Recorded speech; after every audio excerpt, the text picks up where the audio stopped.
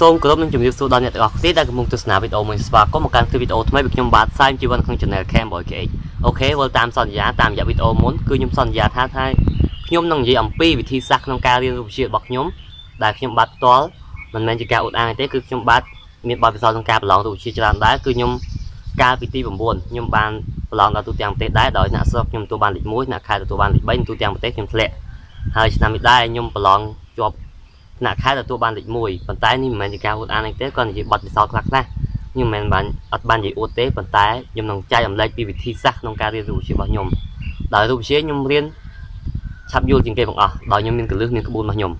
អូខេអញ្ចឹងមកចង់ដឹងថាក្បួននោះមានអីខ្លះអញ្ចឹងតាមដានទស្សនាដូចតទៅអូខេអញ្ចឹងចូលដល់ជំហានទី1សម្រាប់ខ្ញុំក្នុងការរៀនរូបវិទ្យាខ្ញុំអត់ត្រូវការកត់ច្រើននិយាយត្រង់ខ្ញុំអត់កត់ច្រើនទេ គឺខ្ញុំធ្វើច្រើនតែម្ដងធ្វើអីគឺខ្ញុំធ្វើលំហាត់ឲ្យបានច្រើនតែមុននឹងធ្វើលំហាត់យើងធ្វើអីយើងត្រូវសិក្សាស្វែងយល់ដំបូងអស់យើងត្រូវរៀនមេរៀនហ្នឹងឧបមាថាយើងចូលដល់មេរៀនហ្នឹងយើងត្រូវរៀនមេរៀនថ្ងៃស្អែកឬក៏ខានស្អែកយើងមើលវាបានមុនទោះបីយើងមើលវាមិនយល់ក៏ដោយក៏យើងឲ្យដឹងខ្លះខ្លះគេនិយាយពីអីដែរពេលគឺបញ្យល់យើងនឹងយល់ទោះមិនបានយល់100%ក៏បាន25%ដែរតែបើយើងអត់បានមើលមុនសោះឲ្យចូលមេរៀននឹងពិបាកគ្រូបញ្យល់អត់យល់ទៅយើងអត់យល់ទេមិន0%បាត់ហើយ តែបើយើងអានទុកមុនដល់ពេលគ្រូយល់ដល់អូយើងភ្ញាក់រលឹកខ្លួនឯងតិចយើងដាស់ស្មារតីខ្លួនឯងទៅពេលហ្នឹងមកគឺយើងមានអារម្មណ៍ថាយើងទទួលបាននៅចំណេះដឹងហ្នឹងដោយឲ្យអត់ដឹងខ្លួនណាយើងអត់ដឹងថាខ្លួនយើងចេះតាំងពីពេលណាមកពេលគ្រូយល់យើងអាចយល់បានហ្នឹងយើងមើលទុកមុនគេហៅ study before health ណាគឺយើងរៀនទុកមុនត្រូវរៀនអីយើងមើលទុកមុនណាគឺវាល្អហើយមួយទៀតអ្វីដែលរៀនហើយហ្នឹងឧបមាយើងរៀនពីថ្ងៃដល់ផ្ទះយើងងូតទឹកងូតអីហើយសម្ភារបន្តិចយើងយកលំហាត់ហ្នឹងមកមើលអត់មេរៀនមកមើល ហើយយើងសាកធ្វើលំហាត់នឹងម្ដងទៀតដោយកំទាន់អាមើលចម្លើយដោយសារចម្លើយយើងរៀនហើយពីថ្ងៃណាអញ្ចឹងយើងកំទាន់អាមើលចម្លើយយើងរៀនធ្វើវាសិនធ្វើបើយើងធ្វើខុសយើងមើលលំនាំតិចសិនយើងក៏មើលទាំងអស់មើលតែលំនាំតិចតិចបានហើយហើយយើងយើងធ្វើសាកម្ដងទៀតដល់ពេលធ្វើយើងចេញយើងធ្វើលំហាត់នឹងចេញទៅគឺយើងដូចដាស់ស្មារតីយើងឲ្យភ្ញាក់រលឹកចឹងមួយវិញទៀតខ្ញុំឡងពេលរៀនពេលរៀនគួរហ្នឹង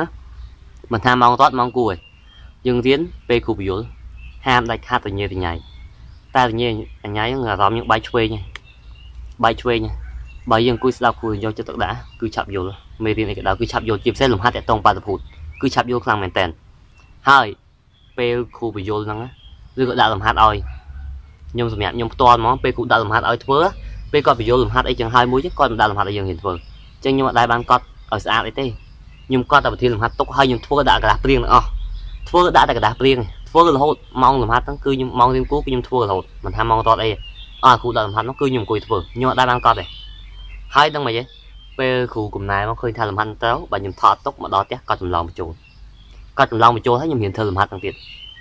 រៀនធ្វើលំហាត់យូរទៅយើងយល់ឲ្យខ្លួនឯងមកយើងយល់ពីខ្លឹមសារមេរៀនហ្នឹងមកហើយបើយើងយល់ច្បាស់យើងអាចបរៀនគេបានចង់បរៀនគេបានឲ្យច្បាស់យើងត្រូវយល់ថានេះមេរៀនហ្នឹងគេនិយាយពីអីមកមេរៀនមួយនឹងអូម៉ាមេរៀនម៉ាស៊ីនគេនិយាយដើមដំវងពីអីយើងយល់ពីក្បាលទៅកតុយយើងយល់ច្បាស់យើងនិយាយបានរាល់ហ្មងហ្នឹងគឺយើងច្បាស់ហើយ នេះមិនមែនជាការអួតអាងអីទេដោយសារបទពិសោធន៍ខ្ញុំផ្ទាល់ខ្ញុំបង្រៀនរូបជាដែរទៅខ្ញុំអាចហ៊ាននិយាយបានដោយសារខ្ញុំបទពិសោធន៍ក្នុងការបរៀនហើយមួយវិញទៀតគឺខ្ញុំនឹងនិយាយអំពីការធ្វើលំហាត់ខ្ញុំនិយាយទូទូខ្លីៗណាបើសិនជាអញខ្ញុំនិយាយ part 2បន្តទៀតនិយាយទៅខ្ញុំនិយាយបញ្ហាទូទៅទាំងអស់ហ្មងហើយបើគ្នាចង់ចម្លងអំពីការធ្វើលំហាត់ការឆាប់យករូបមន្តការអីអាចខមមិនខាងក្រោមបានខ្ញុំធ្វើវីដេអូបំបែកមួយមួយតែនេះខ្ញុំវីដេអូនិយាយសរុបយកតែម្ដងអញ្ចឹងបានបែងចែកថាធ្វើលំហាត់មិនទេឥឡូវខ្ញុំនិយាយពីការធ្វើលំហាត់វិញ ការធ្វើលំហាត់របស់ខ្ញុំទី1ខ្ញុំអានវិធីលំហាត់ឲ្យច្បាស់សិនតើគេនិយាយពីអីអានម្ដងឬក៏ពីរដងឬក៏អាចទៅ3ដងមកលំហាត់ធំអានហើយមួយទៀតខ្ញុំសងសមត្ថកម្មទុកឧបមាថាយើងមានកដាស់មួយផ្ទាំងអញ្ចឹងខ្ញុំគូសបន្តទី2ដាក់កដាស់ព្រៀងមកចំហៀងអាចចំហៀងតូចនេះខ្ញុំអានអានលើកទី4ខ្ញុំសងសមត្ថកម្មដាក់ពេលណាយើងអានយល់ប្រធានហើយយើងសងសមត្ថកម្មដាក់សងសមត្ថកម្មដាក់មកចំហៀងហើយយើងមើលសំណួរតើគេសួរពីអីយើងមើលសំណួរទៀតគេឧបមាថាគេសួរពី តាក់តងកំមន់យើងមើលតើរូបមន្តតាក់តងកំមន់មានរូបមន្តអីខ្លះខ្ញុំកត់នៅមកចំហៀងទៀតអញ្ចឹងយើងមើលគូកងគ្នារូបមន្តហ្នឹងហើយនឹងសមត្ថកម្មតើរូបមន្តមួយណាដែលមានសមត្ថកម្មគ្រប់អស់ហើយវាសមស្របយើងដាក់រូបមន្តនៅចំហៀងសមត្ថកម្មមកចំហៀងយើងគូកងគ្នាមើលតើអាណាស័ក្តិសមហ្នឹងហើយព្រោះឧបមាថាគេសួរដល់កំមន់យើងអាចមានរូបមន្តច្រើនអញ្ចឹងយើងអាចសរសេរមកចំហៀងអានេះមកចំហៀងគូកងគ្នាបញ្ចូលហ្នឹងគឺជាវិធីសាស្ត្ររបស់ខ្ញុំសម្រាប់ខ្ញុំផ្ទាល់ហ្មងហើយវាអត់ច្រឡំទៀត យើងវាអត់ច្រឡំអត់ច្រឡំសមត្ថកម្មហើយយើងអាចបំបីសមត្ថកម្មបំបីຂະຫນាតអីក្នុងហ្នឹងឲ្យហើយអត់និយាយញ៉ៃព្រោះហ្នឹងกระดาษព្រៀងរបស់យើង យើងអាចសរសេរចឹងបានវាចំណេញពេលវេលាយើងផងបើយើងធ្វើដាក់กระดาษនោះយកហ្មងធានាគឺច្រឡំជាពិសេសគឺលេខទោះបីរូបមន្តលំហាត់យើងចាំស្ទាប់មិនក៏ដោយអាចនឹងច្រឡំលេខដែរទោះតែលំហាត់យើងទិញទន្ទិញលំហាត់ដល់ចាំហ្មងបើថាយើងអត់ច្រឡំប៉ុន្តែបើយើងធ្វើទៅ flu ទៅហ្មងគឺយើង flow ទៅហ្មងគឺអត់អាចអត់អាចទៅត្រង់ទៅបានទេ គឺវាមានកលៈតិចហើយយើងធ្វើអាចនឹងមានបញ្ហាអាចនឹងកខ្វក់សម្រាប់ខ្ញុំផ្ទាល់គួរល្អធ្វើដាក់กระดาษព្រៀងសិនទោះបីប្រឡងសិបកាយក៏ដោយខ្ញុំធ្វើដាក់กระดาษព្រៀងដែរប៉ុន្តែលំហាត់ពីរចុងក្រោយខ្ញុំគុនម៉ោងពេកខ្ញុំសុតយកហ្មងដល់អញ្ចឹងវាកខ្វក់តិចតួចដែរខ្ញុំសុតយកអត់មានបានព្រៀងតែគិតលេខដាក់กระดาษព្រៀងប៉ុន្តែសរសេរចុះមកក្រុមដេញមកចឹងមកអត់បានព្រៀងបំបែកຂະຫນាតនេះគឺបំបែកក្នុងกระดาษហ្នឹងអញ្ចឹងវាជាគ្រោះថ្នាក់មួយដែរបើសិនយើងខុសតែបន្តិចអាក្រមខុសមកទាំងអស់បើយើងសេបានមកបន្ទាត់អឺមកស្លឹក ខុសបន្ទាត់លើអាក្រមខុសអស់ហើយហើយបើនិយាយរឿងបញ្ហារូបមន្តភាគច្រើនគឺអត់ចាំរូបមន្តមិនចឹងឯងនេះខ្ញុំនិយាយទូទៅខ្ញុំសូមបញ្ជាក់ម្ដងទៀតគឺខ្ញុំនិយាយលាយទាំងអស់ហ្មងអត់បានសង្កត់ធ្ងន់លើការធ្វើលំហាត់លើរូបមន្តឬក៏វិធីឲ្យឆាប់ចាំអីទេគឺខ្ញុំនិយាយរួមទាំងអស់តាក់ទងរូបជាតាក់ទងបែបសពរបស់ខ្ញុំសម្រាប់តាក់ទងរូបមន្តអត់មានណានទិញទេខ្ញុំប្រាប់តើដំបូងយើងគ្រាន់អានមើលយើងមើលដែរមិនថាទិញរូបមន្តគឺមើលមើលសិនហើយយើងមើលរូបមន្តអូម៉ារូបមន្តវាមាន គ្រាន់តែតាក់ទងដល់ wave មាន3 4ដល់ wave ស្មើ NAT លិន wave 2 wave 1ឬក៏ដល់ wave ស្មើ data wave ដល់ wave ស្មើ0នេះយើងទៅបែងចែកច្បាស់តើនេះប្រើក្នុងលក្ខខណ្ឌណានេះប្រើក្នុងលក្ខខណ្ឌណានេះប្រើក្នុងលក្ខខណ្ឌណាយើងឲ្យយល់យើងមើលឲ្យច្បាស់ហើយឲ្យយល់ឲ្យយល់កាលណាយើងយល់ហ្នឹងយើងអាចបញ្យល់គេបានបញ្យល់គេបានយើងអាចបរៀនគេបាន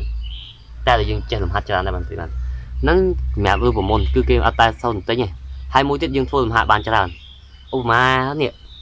អត់ខ្វះលំហាត់ខ្ញុំសុំណែនាំណា ឧបមារូប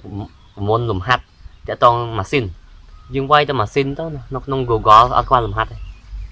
ហើយលំហាត់អត់ខ្វះអាតូចតូចក៏មានដែរអត់ខ្វះសម្រាប់ធៀមឡងបាក់ដុំគឺតូចតូចអាត្រៀមត្រៀមកម្រិតដំបងអីវាតូចតូចឯងអញ្ចឹងគេដាក់មកដាក់យើងធ្វើដើម្បីយើងចាំរូបមន្តធ្វើឲ្យចាំដៃជំនួសលេខយកអញ្ចឹងយើងកាលណាយើងជំនួសលេខយកញឹកយើងចាំរូបមន្តហ្នឹងសម្រាប់រូបមន្តអត់ពិបាកគឺធ្វើលំហាត់បានច្រើន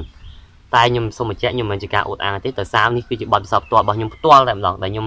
លើកមកគឺខ្ញុំស្បឆ្លងកាត់ខ្ញុំឃើញថាសម្រាប់ខ្ញុំផ្ទាល់គឺចឹងល្អប៉ុន្តែសម្រាប់អ្នកអស់គ្នាមួយចំនួនបែរជាអត់អាចបានតាមខ្ញុំ100%តាមនេះយើងវាផ្សេងគ្នាខុសគ្នាវាអត់ដូចគ្នាណាហើយកុំគិតថាខំតែរូបចោលកណិតយ៉ាស្ដាយក្រោយដោយសាររូបវិទ្យាកណិតវិទ្យាដូចជាបងប្អូនបង្កើតបើនិយាយពីសភៅកម្រាស់នេះសភៅរូបវិទ្យាកម្រាស់ហ្នឹងគឺកម្រាស់គឺសភៅរូបវិទ្យាលីកណិតតែបើរូបវិទ្យាសុទ្ធហ្មងគឺតែប៉ុណ្ណេះដូចមេរៀនត្រឡប់ តាក់តងស៊ីនពេបអុកស៊ីនគុយបំបែកមុំបំបែកមុំប្រហែលមុំប្រហែលអីកាត់តរងទីប្រហែលគឺតាក់តងនៅហ្នឹងទាំងអស់តម្លៃអុកស៊ីនកុសតង់ប្រហែលអីហ្នឹងមុំពិសេសមិនមុំពិសេសអីហ្នឹងហ្នឹងមិនចូលគណិតអញ្ចឹងមិនថារូបវិទ្យានិងគណិតវិទ្យាគឺជាបងប្អូនបង្កើតគ្នាអញ្ចឹងបើយើងចង់បង្កែរូបដល់យើងចេះគណិតខ្លះដែរបើយើងចោលគណិតពេកសូមប្រាប់ថាมันអាចទេ គឺយើងទៅអត់ flow ណាគឺអាលាក់តិចហើយពិបាកពីមួយម៉ាត់គឺពិបាក ហើយមួយវិញទៀតខ្ញុំនឹងនិយាយអំពីអំពីទិសស្ដីទិសស្ដីឬក៏លំហាត់លំហាត់មួយចំនួនវាមានរូបឧបមាថាតកតងផ្ទៃកាឡាឧបមាមានផ្ទៃកាឡាខ្សែក៏ផ្ទៃមុខកាត់ខ្សែហ្នឹងគឺប្រើវាថាផ្ទៃមុខកាត់ខ្សែនិងផ្ទៃមុខកាត់សលេនខ្ញុំឃើញលំហាត់ភាគច្រើនគឺច្រឡំអាហ្នឹងផ្ទៃហ្នឹងយើងត្រូវចាំឲ្យច្បាស់ដើម្បីឲ្យយល់អាហ្នឹងបានបែងចែកច្បាស់យើងត្រូវយល់ពីបាត់ពួកវាដែរយើងគិតទៅលើរូបគិតទៅលើរូបវាច្បាស់សូលេនអ៊ីតគឺមូលចេះហើយគេរងខ្សែពីលើអញ្ចឹងត្រូវបែងចែកច្បាស់សំខាន់គឺយើងយល់ឲ្យយើងយល់យើងមើលឲ្យយល់សិនចាំយើងរៀនធ្វើលំហាត់ឲ្យយល់ថាខ្សែហ្នឹងមិនសូលេនអ៊ីតហ្នឹងមិនបូប៊ីនហ្នឹងមិនឲ្យយើងយល់សិនទើបយើងធ្វើទៅវាងាយស្រួលមិនអញ្ចឹងយើងច្រឡំគ្នាអាផ្ទៃហ្នឹងមិនដឹងផ្ទៃអាណាមិនដឹងប្រវាយអាណាមិនដឹងកត់ផ្ចិតអាណាគឺវល់ហើយហ្នឹងការកណនីលំហាត់ហើយជាពិសេសតាទី12ដឹងឲ្យជួបឲ្យលំហាត់ភេទហ្នឹងមិនតែប្រឡងថ្ងៃមុនគឺអត់ចាញ់ទេអូខេចឹងសម្រាប់ខ្ញុំនិយាយគឺនិយាយតែប៉ុណ្ណឹងខ្ញុំនិយាយជាទូទៅទាំងអស់តែម្ដងខ្ញុំចាញ់ចំណុចបបិសោតខ្ញុំហ្នឹងណា ប៉ុន្តែខ្ញុំអត់បានសង្កត់ធ្ងន់លើអត់បានសង្កត់ធ្ងន់សង្កត់ធ្ងន់អត់បានសង្កត់ធ្ងន់លើការកណនីលំហាត់ឬក៏កណនីអីផ្សេងផ្សេងឬក៏ទិញប្រមុនឬក៏ការចាំទិស្ដីឬក៏វិធីអីផ្សេងផ្សេងគឺខ្ញុំអត់សង្កត់ធ្ងន់ធ្ងន់លើអាណាមួយទេគឺខ្ញុំនិយាយជារួមជាទូទៅទាំងអស់ជាខ្លីៗហើយចាំមុនខ្ញុំនឹងចេញវីដេអូក្រោយៗតាក់ទងការធ្វើលំហាត់ឬក៏អីផ្សេងផ្សេងទៀតបំបែកមួយមួយមួយមួយឲ្យឆាប់យល់អូខេអញ្ចឹងសម្រាប់វីដេអូចប់តែប៉ុណ្្នេះហើយខ្ញុំធ្វើគឺតាមសំណូមពររបស់គ្នាអញ្ចឹងទេ